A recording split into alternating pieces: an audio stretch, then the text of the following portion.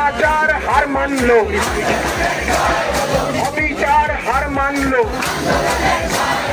চাপের মুখে হার মানলো স্বাস্থ্য সচিবের পদত্যাগের দাবিতে অনর জুনিয়র ডাক্তাররা এখনই কর্মবিরতি তোলার সিদ্ধান্ত নয়। মুখ্যমন্ত্রীর বৈঠক সদর্থক হয়েছে বলে দাবি করেও আন্দোলনকারী চিকিৎসকরা জানিয়েছেন, সুপ্রিম কোর্টের শুনানির পর প্রত্যেক কলেজের সঙ্গে আলোচনা করে সিদ্ধান্ত নেবেন আন্দোলনকারী চিকিৎসকরা।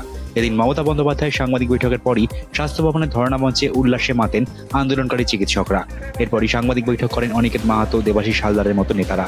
বৈঠক সেরে বেরানোর পর মানববন্ধনও করেন তারা।